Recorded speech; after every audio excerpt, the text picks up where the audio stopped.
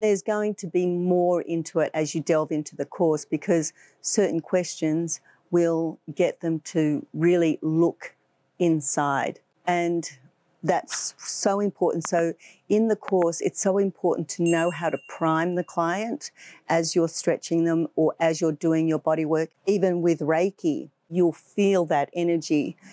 And then you can still talk to them. They don't need to be totally quiet, and they actually don't need to have their eyes closed. They can be quite awake and conscious because when you think about it, being in that trance state, like if you're glaring and you're just looking at something and you don't know what you're looking at, but you're staring at something, that's trance. So your eyes are opened. Um, you're driving to a friend's place or to work and you know exactly where to go. You, your body is just moving the car to that direction. You're, you're totally tranced out. You're not thinking about anything, but you just know how to get there and what to do. Don't worry about that the eyes have to be closed or they have to be in this meditative state. They really don't have to. So when you're doing Reiki or body work or healing, you can just still talk to them and they'll feel that. And what happens, they're also getting a, an emotional clearing. So even though you clear the body, even though you're clearing the joints and the muscles and the tensions and you're getting flexibility, and that's fantastic, but integrating that with an emotional clearing as well, they'll just feel so different.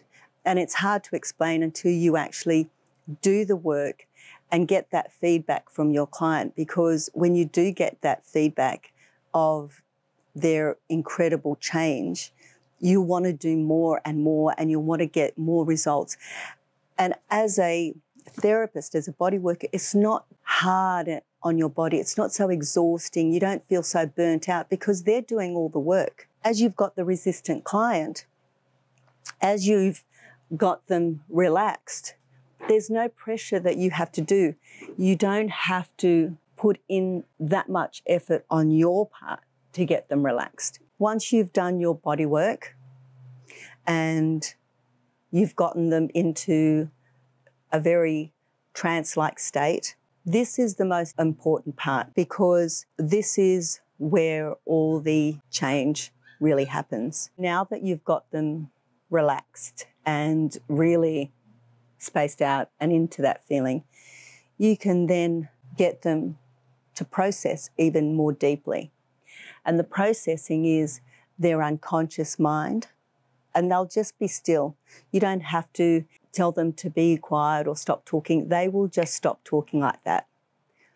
They will be processing and they might even have some emotional release, and that's fine. And they'll still be aware of you moving around and touching them. But here in the mind, emotionally, in that unconscious state, they are processing the whole conversation that you've had with them.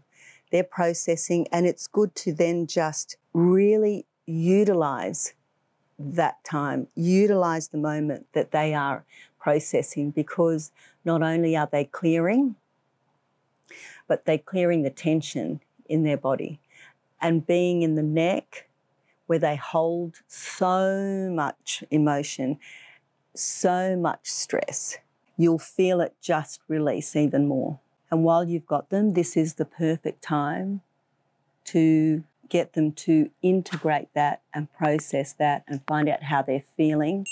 And then you'll ask them again, how is the problem? How is that pain in their particular, it could be down on their foot. What's happening with the foot? What's happening with the calf? How's that feeling now? So you're not putting any more time or effort as a therapist because as soon as the body lets go, you are able to work your magic, whatever modality it is.